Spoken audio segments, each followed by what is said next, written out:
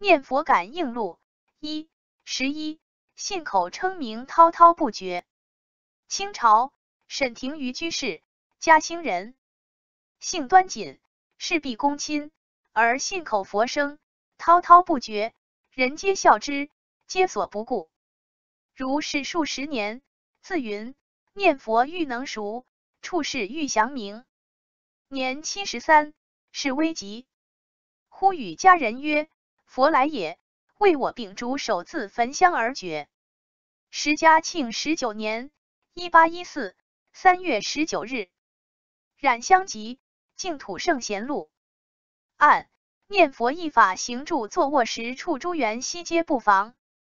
信口念佛身世道场任生称名与佛同在。随闲随忙不忘念佛念兹在兹动静亦如。念佛欲熟处事欲明，念佛心静静则慧生。